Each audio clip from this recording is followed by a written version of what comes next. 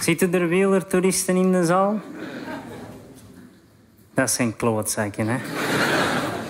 Alleen zijn ze oké, maar vanaf dat die in groep zijn... Hè, ten eerste, het is niet omdat je met veel zit dat er geen verkeersregels niet meer tellen. En ten tweede, koopt een bel. Ik heb eens onze wielrenner gevraagd waarom hij eigenlijk geen bel...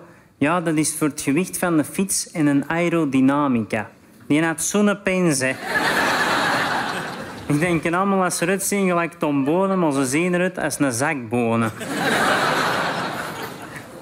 En pas op, ik snap dat die willen gaan wielrennen, want wielrennen is eigenlijk perfect om vreemd te gaan. Je moet niet zeggen waar dat je naartoe gaat. Je kunt gemakkelijk vier, vijf uur wegblijven. Je kunt overal gezien worden, want je zit aan het fietsen. Als je thuis komt, je vrouw vindt dat niet raar dat je direct gaat douchen. En je moet niet liegen. Hoe was het? Ben diep moeten gaan. Ik heb het gat wel dichtgereden. Maar professionele wielrenners, dat vind ik echt cool. Daar kijk ik echt naar op. Ja, je zo gaat kijken in welke sport dat de jongens zich onderscheiden van de mannen, dan is het toch wielrennen. Een voetballer dat nog maar denkt dat je naar zijn schenen ontkijken zit, die niet al op de grond te blijten. Een wielrenner die valt in een ravijn vol slangen en prikkeldraad en netels. Die klopt zijn schouder terug in de kom, die steekt zijn oog er terug in en die redt Dat zijn de mannen. En er zijn veel mensen dat dat saai vinden, wielrennen. Maar die snappen dat niet. Dat is juist de bedoeling. Wielrenners zijn de max.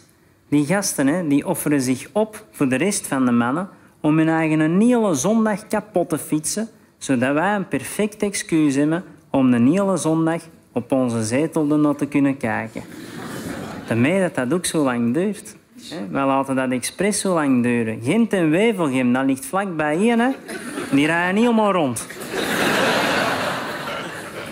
Ik vind wel raar, want die pakken allemaal glimbuterol, hormonen, insuline. Bijna alle geneesmiddelen die er op de Belgische markt voorhanden zijn, daar gaat de rapper van fietsen.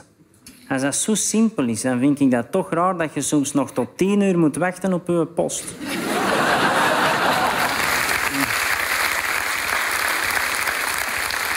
Ze proberen tegenwoordig ook alles om het die wielrenners gemakkelijker te maken. Doping, betere fietsen, beter materiaal.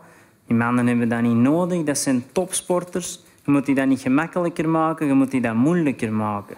Want die allemaal rijden op een doodnormale damesfiets. Met drie vitesse en een stoeltje van achter met een kleine in. Dan is er geen competitievervalsing niet meer. En die, die massale valpartij, dat wordt direct veel plezanter. Hè? Iedereen wil weten hoe dat met die kindjes is. Hè? En die wielrenners die kunnen dat dan. Echt, er is geen enkel sport waar dat zo'n beesten aan meedoen. Die trekken nu nog nergens iets van aan. Hè? Die gaan gewoon tijdens de wedstrijd pissen aan de kant van het veld. Dat moeten bij een tennis niet proberen. Hè?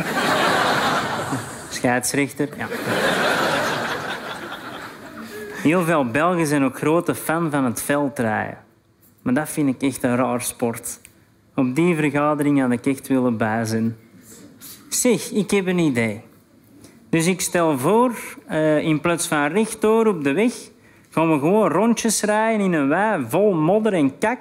En in het midden zetten we 20.000 zatte apen. Oké, okay, Wilfried. Uh, maar met mountainbikes dan toch als het in de modder is? Nee, gewoon met koersfietsen. Allee, jongen, dat is belachelijk. Dan kunnen we al even gewoon een trap in het midden van het parcours zetten. Maar dat is geniaal.